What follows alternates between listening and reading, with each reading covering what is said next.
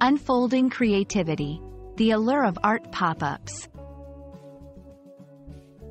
Hello, language enthusiasts. Today we're diving into a fascinating phrase that merges the worlds of art and spontaneity. Art pop-up. This term has layers of meaning and cultural significance. So let's explore what makes art pop-ups a trend to watch out for. An art pop-up refers to a temporary art exhibition or event that pops up unexpectedly in unique, often non-traditional spaces. It's a concept that brings art to life in a way that is unexpected, interactive, and ephemeral. Unlike traditional galleries, pop-ups are here today, gone tomorrow, creating an exclusive atmosphere. The phrase combines art, which signifies human creativity and expression, with pop-up, a term that originally comes from books with three-dimensional pages and has come to mean anything that appears suddenly or unexpectedly. In this context, it signifies an event that appears suddenly, is temporary, and creates a sense of surprise and novelty.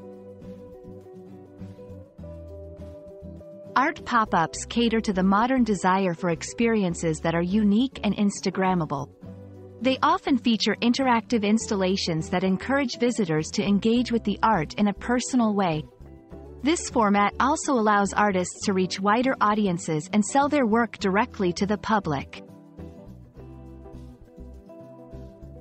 Art pop-ups can transform spaces and communities by making art more accessible and relatable.